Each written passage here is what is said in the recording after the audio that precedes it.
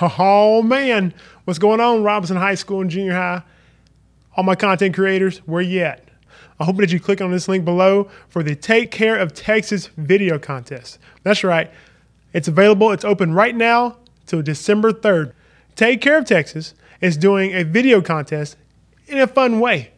You come up with a creative way to take care of Texas, how you can come, come in and learn about protecting the environment in creative ways to share this knowledge with others and why it's so important. If you're a content creator, this is going to be great. If you're not a content creator, it's about time you start and jump on the board, the bandwagon, get into that content creator mode.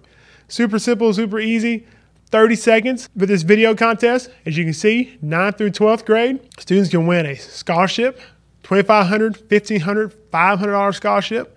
If you're a junior high student, you can win an $800, $600, $400 gift card to get you some camera equipment. Now, I know you're thinking, well, I don't I have any cameras. I don't have any professional quality cameras to use.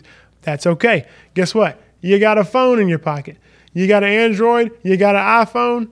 Hey, you can use that if you need some help, you want to borrow some stuff, you want to check some things out, go talk to our campus media specialist. Go talk to uh, Mr. Jenkins, and maybe you know maybe hit me up too. Maybe I you know we can help you out. But we would love to see you create something for this content and contest, and also represent Robinson ISD.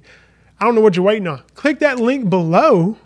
Right here, yeah, click the link below, take you to this website, so that way you can learn a whole lot more about this. Sign up, you can view the other contest winners, submit your video, watch a little video, get paid. That's right. I said get paid because I know you're going to go out there, you're going to do your best, and you're going to create some amazing videos.